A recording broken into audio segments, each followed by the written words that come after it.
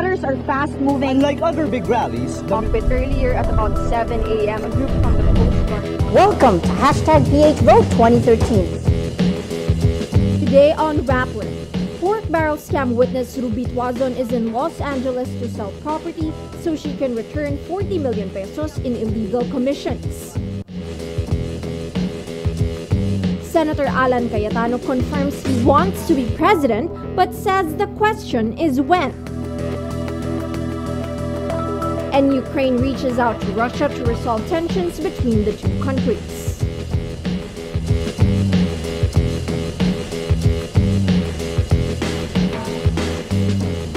Hello, I'm Ayee Macaraig sitting in for Maria Ressa. Welcome to Rappler, your social news network.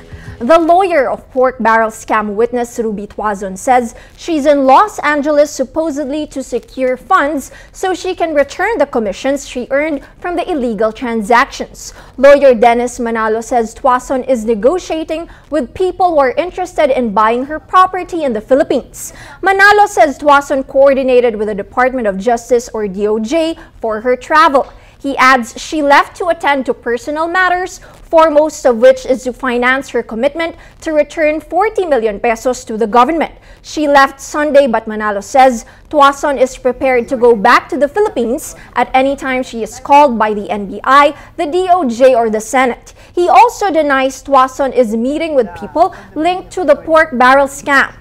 Tuason was admitted provisionally under the DOJ Witness Protection Program after she promised to return a portion of what she received as bagman for Senators Jinggoy Estrada and Juan Ponce Enriles transactions in the scam. But Justice Secretary Leila De Lima is furious at the release of reports about Tuason's whereabouts. I'm asking uh, Commissioner Mison to uh, require that spokesperson to uh, explain why uh, she made such an announcement. I cannot be confirming that. That is a WPP matter. It's uh, covered by the confidentiality provision. But any such announcement by that spokesperson is not authorized. And therefore, I asked uh, The Justice Department denies claims that pork barrel scam whistleblower Benhur Luy is being influenced as a state witness to favor certain politicians linked to the scam. Luy fired Levy Baligod on Tuesday as his counsel in the cases related to the pork barrel scam.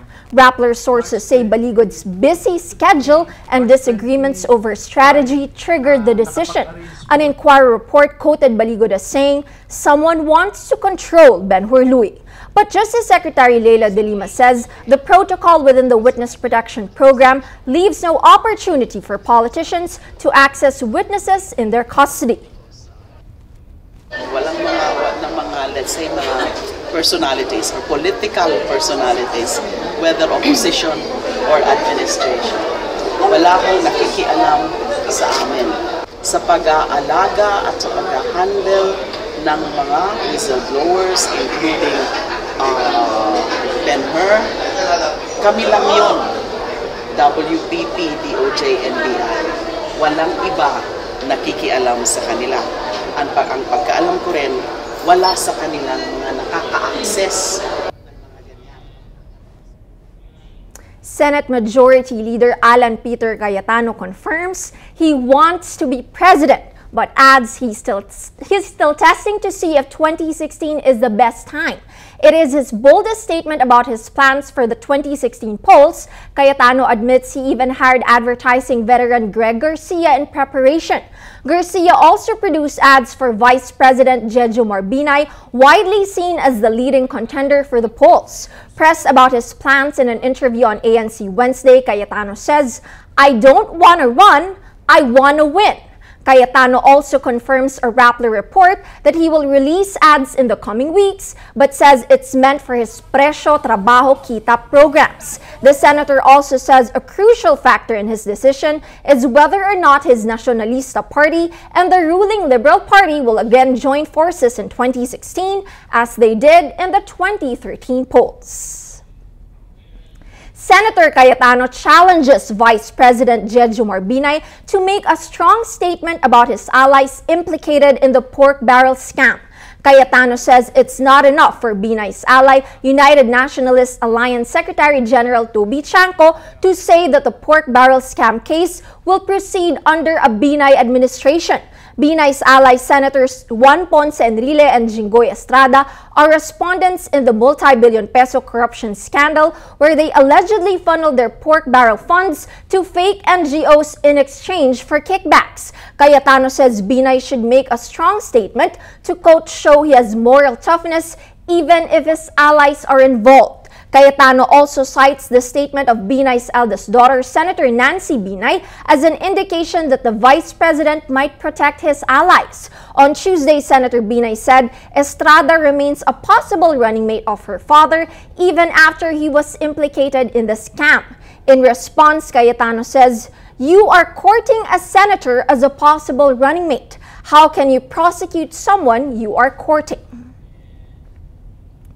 Malacanang questioned Senator Bong Revilla's challenge for President Benigno Aquino and his cabinet to subject themselves to a lifestyle check. Presidential spokesperson Edwin Lacierda says it's irrelevant. Do our readers agree? Brian J. agrees with Lacierda. He says irrelevant for admin to investigate themselves. Lifestyle check will only be relevant against the opposition. Albert Jan Santillana says let he who has not sinned cast the first stone. Otherwise, this is just a prime example of the pot calling the kettle black. Nearly four months after Super Typhoon Yolanda or Haiyan, the Philippine government gets only a fifth of the money the world promised. Rehabilitation Secretary Panfilo Lacson says the government will soon appoint quote evangelists to follow up on the unfulfilled pledges.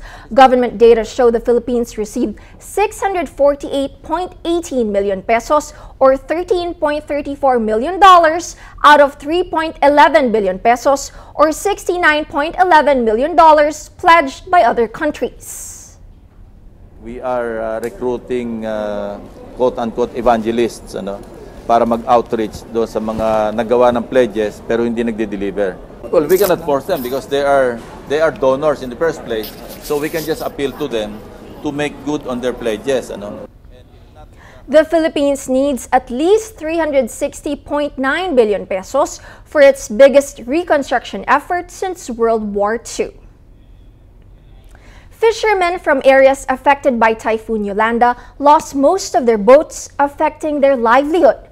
Months after, they get back on track with new boats, with one major difference. Pia Ranada reports. These fishing boats are about to be shipped to Haiyan hit areas. They look like any other bangka, but instead of wood, they're made of fiberglass. Fishermen were among the worst hit by the typhoon, with many of them living near the sea. The journey of these boats start here in the warehouse of BP Technologies. These are mats of fiberglass. They are cut into strips the length of boats. Uh, we make the the molds here in Manila and prefab all of the materials here and then we send it to our different locations. Uh, currently, we have uh, Bacolod, Iloilo, Ormoc, Wing and Tacloban, and uh, in next stop is actually Samar. To make a boat, a gel coat is sprayed on the mold, serving as the boat's outermost layer. On top of the gel coat, workers put layer upon layer of fiberglass mats, laminating them with resin. It is really fast. Uh, as I told you, we can make one boat per mold per day. So instead of uh, making it in the traditional way, wooden boats uh, that needs a week before you can make a boat, just one boat, and plenty of guys to do it. Here, you, you just need 10 guys. In a week, you can make what? 7 to 10 boats in a week. Fiberglass boats also save hardwood trees from being cut to replace thousands of boats Yolanda destroyed. The workers, many of them fishermen, vouch for the fiberglass boats. Randy Upsanga was once a fisherman in Mindoro. Yung kahoy po, madali pong masira tsaka pag na once na mas, masira siya, mabutas, mas mahirap i-repair. Eh, grind lang po ng konti, tapos pag nalis yung gel coat or yung pintura, tsaka ililiyer naman po ng panibago. Aside from ready-made boats, the company ships building kits to make new boats.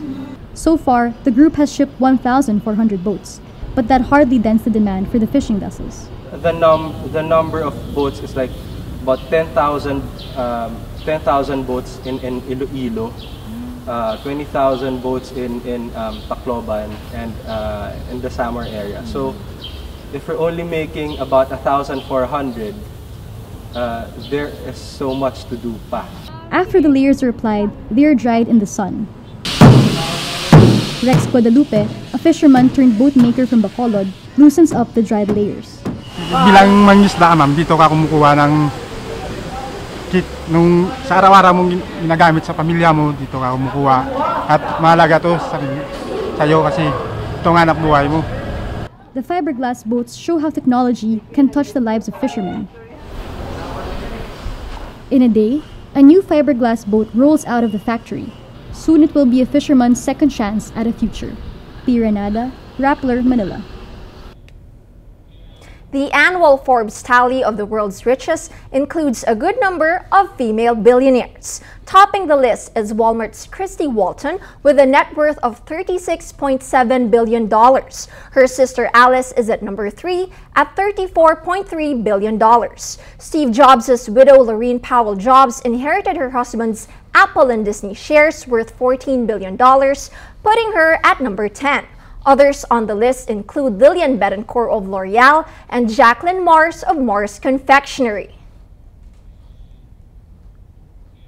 Ukraine's interim Prime Minister Arseniy Yatsenyuk says his government made the first, quote, timid contacts with Russian leaders in a bid to resolve tensions between the two countries. This standoff continued Tuesday with both sides saying they don't want war over the Crimean Peninsula, a disputed region with Russia, which Russia ceded to Ukraine in 1954. Ukraine's UN Ambassador Yuri Sergeyev says Russia sent 16,000 troops into Crimea, but Russian President Vladimir Putin denies this. Although Putin says his military does not plan to seize Crimea, he says if Russian troops intervene, it will be legitimate. Putin adds we have a direct request from a legitimate president, and it corresponds to our interests in protecting people who are close to us. But Ukraine's Petro Poroshenko says ousted President Viktor Yanukovych has lost legitimacy.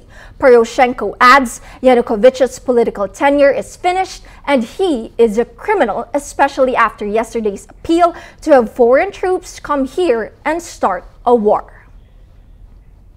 Let's now look at Rappler's Wrap for today, a list of the 10 most important events around the world you shouldn't miss. At number 7, New Zealand's Maori king Tuheitia Paki declines to meet with the United Kingdom's Prince William during his visit to the country in April. The office of the king says he's, quote, not a carnival act and criticizes those who organize the trip because of the inflexible terms. The visiting royalty complained of being given only 19 minutes with the prince. King Tuheitia is descended from the first Maori king appointed in 1858. He does not have any constitutional status or legal powers in New Zealand, but he carries symbolic importance for some Maori. At number 9, John Travolta's blunder during the Oscars sparks a new internet star. Travolta mispronounced Broadway star Idina Menzel's name, introducing her as Adele Dazeem. The internet was rife with memes and jokes about Travolta's oops moment. Travolta himself says he had beaten himself up about it, but the real Idina Menzel would simply say, let it go. And at number 10, Tech giant Apple launches CarPlay, its new integration setup for iOS in-car dashboards. Apple says CarPlay is designed from the ground up to provide drivers with an incredible experience in using their iPhones in the car.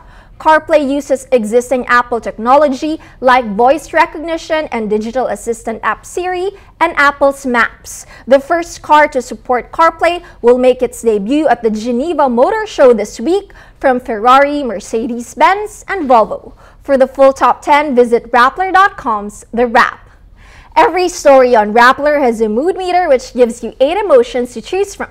Click how you feel and your vote comes down to the mood navigator in the middle of the front page, which crowdsources the mood of the day. It also gives you the top 10 stories that got the most clicks. Today's Mood Navigator has mostly political stories. Why, Lu- why Luy dropped Baligod as counsel? It has 35% of readers feeling afraid, 22% sad. The line of the day, Cayetano, I don't wanna run, I wanna win. 64% of readers are happy, 20% annoyed.